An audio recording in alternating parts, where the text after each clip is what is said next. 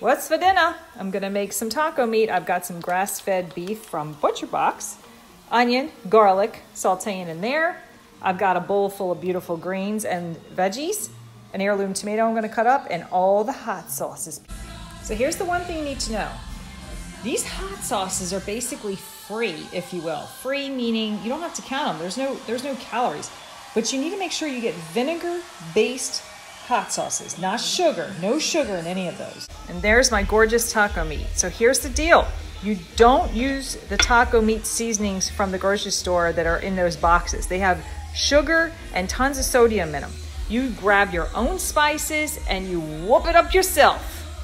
Okay, it's important for you to know this is how I coach my team. This is how I live my life. Same exact way. These containers take all the guesswork out of you don't we don't count calories, we don't count macros and micros. They're just measuring devices.